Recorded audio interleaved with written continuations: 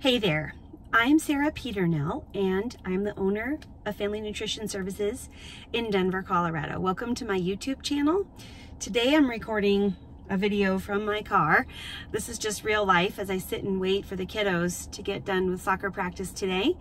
Um, I thought I would jump on here and record for you a question that I get quite frequently from followers on social media and also from many of my clients, which is why do I have more pain than other people just because I have Hashimoto's? So that's a great question. People with Hashimoto's do tend to have more of the pain syndromes and pain related symptoms, I think, than the average person. In my practice, where I focus on working with people who have Hashimoto's, I certainly have encountered that the majority of people have some type of pain. Now, it can be wide ranging, right? I think the most common thing that I see is the fibromyalgia-like pains, which can involve neck, shoulders, back, um, a lot of the like larger muscles in the body that just feel kind of achy and stiff.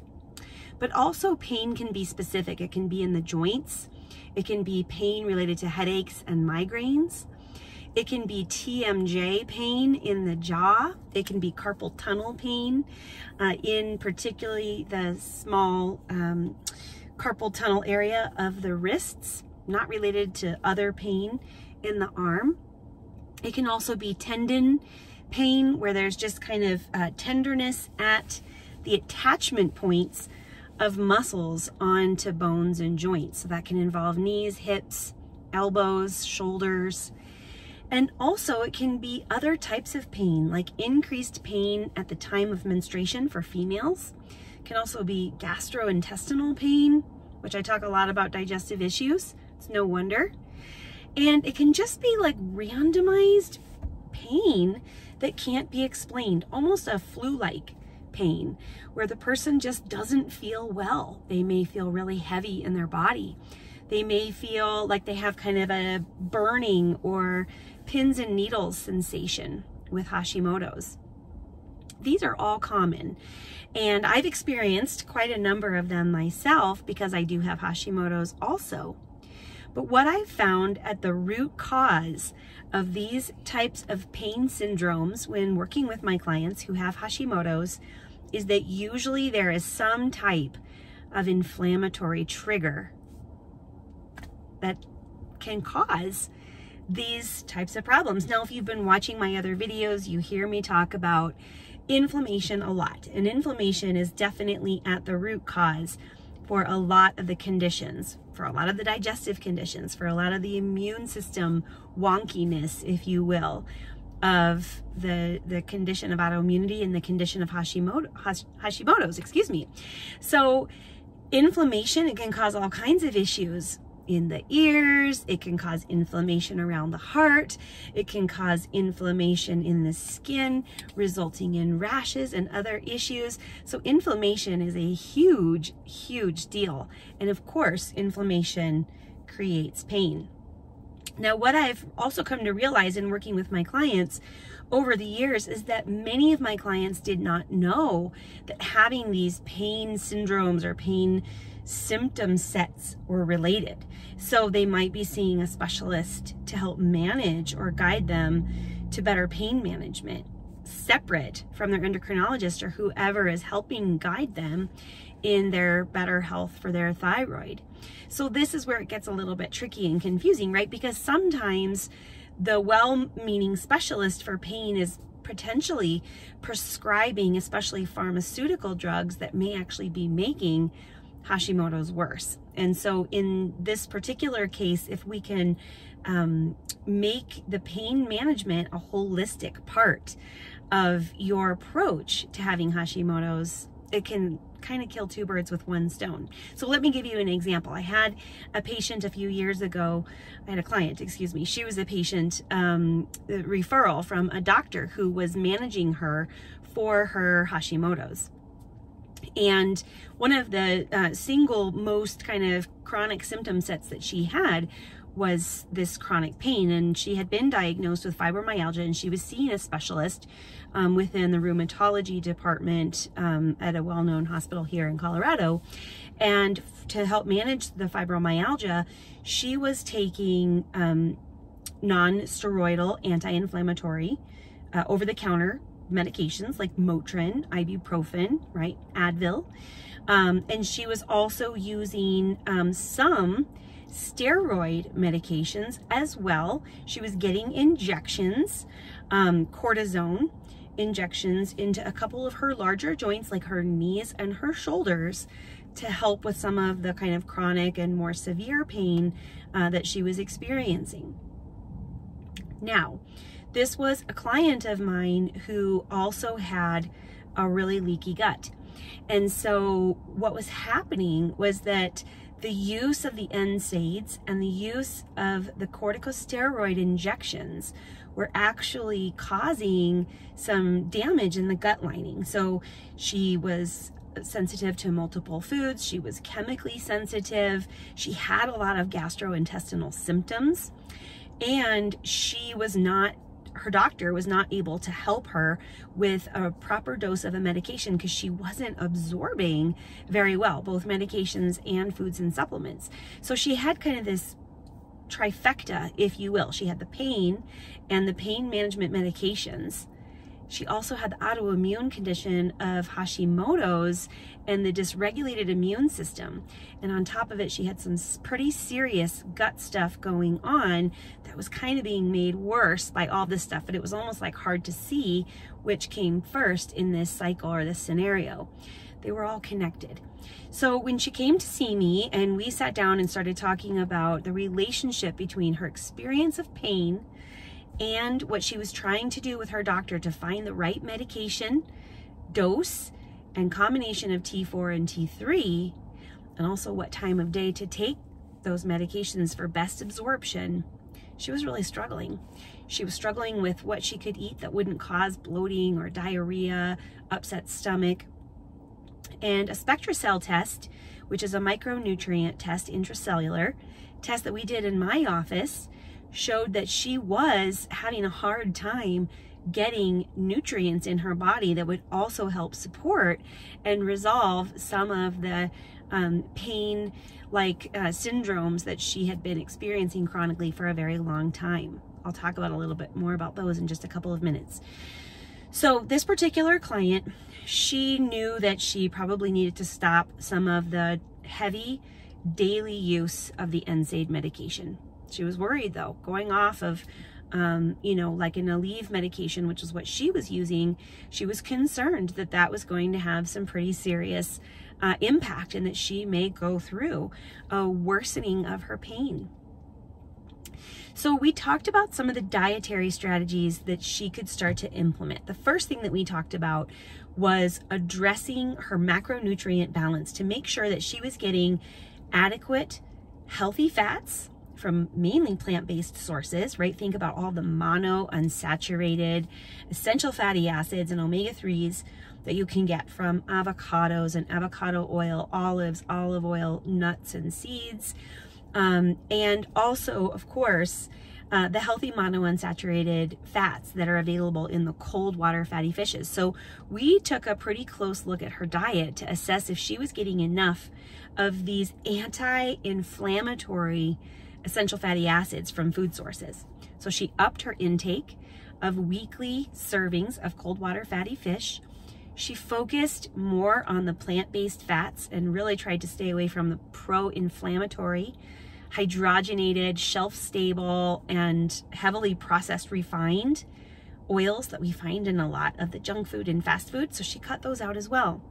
From a protein standpoint, she needed that tissue uh, repair, that, that collagen um, to enable to help repair the tissue where there were pain uh, syndromes going on, right? So in a lot of the joints and tendons and in the muscle tissue where there was a lot of pain, she wasn't getting adequate amino acids from dietary sources. She was a carnivore, but her SpectraCell test showed that she was low in carnitine. And carnitine is necessary again for that large muscle repair. So we, we concentrated on balancing out an adequate amount of protein in addition to those fats. And then also from a carbohydrate standpoint, we really tried to reduce any of the pro-inflammatory refined carbohydrates. So obviously sugar.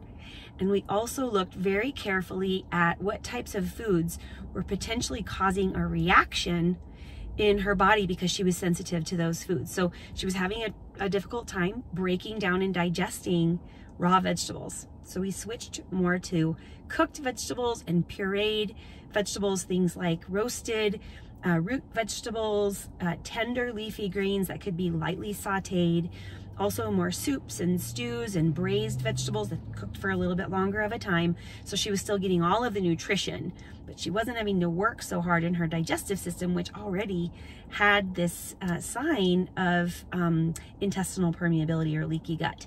So um, incorporating the anti-inflammatory foods and reducing or avoiding the pro-inflammatory foods was the first step.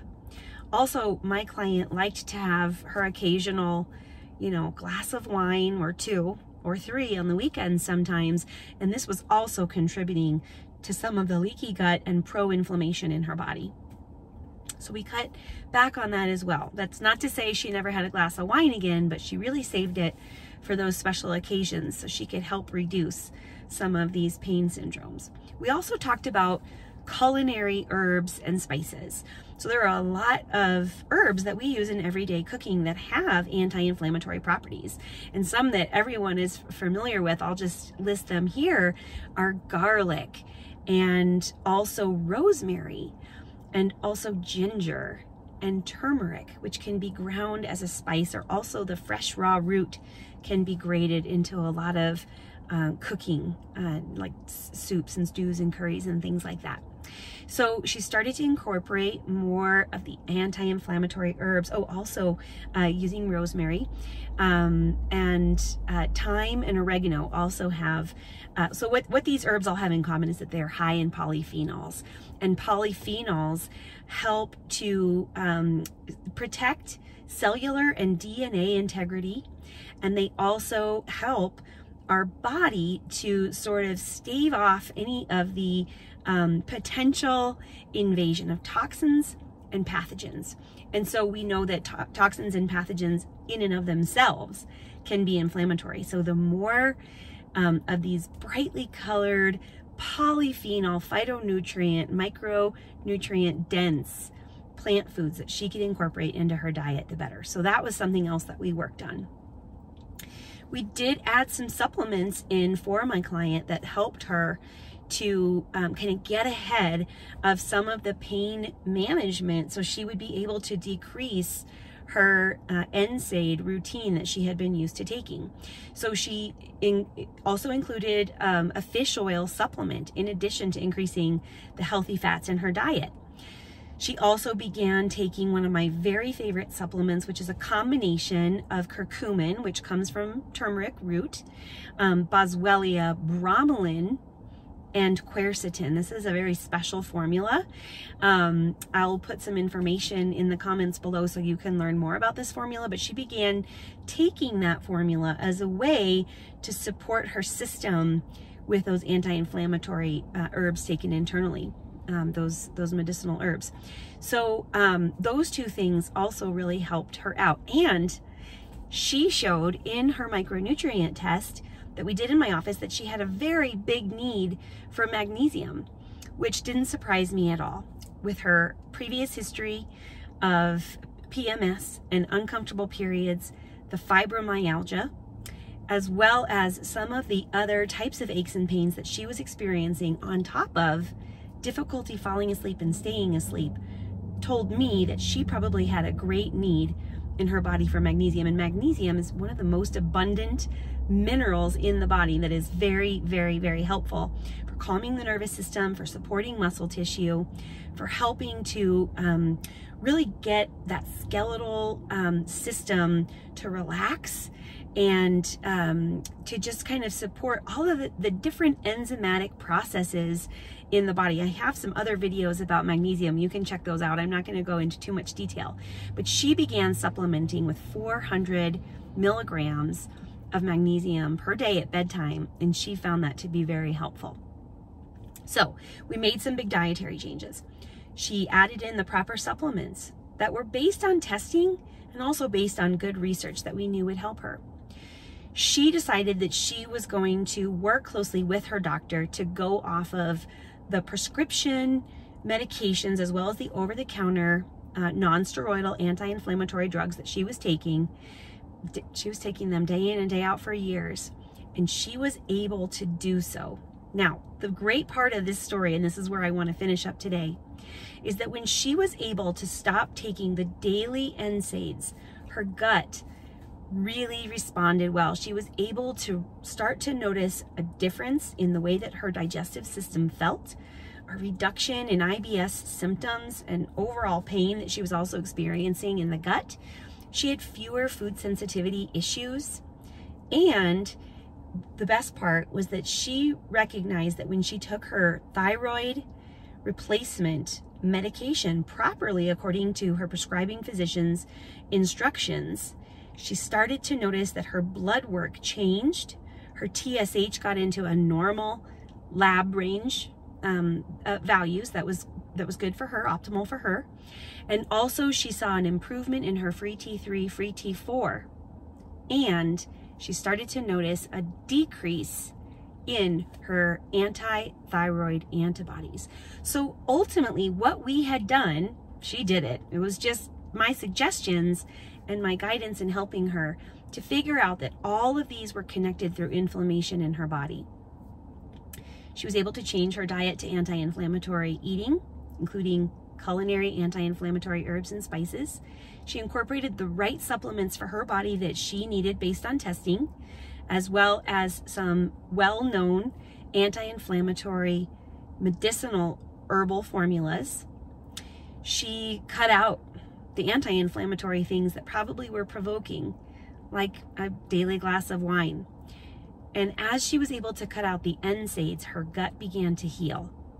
And now a healthy functioning digestive system is better able to absorb the medication that her body needed due to the damage done to her thyroid.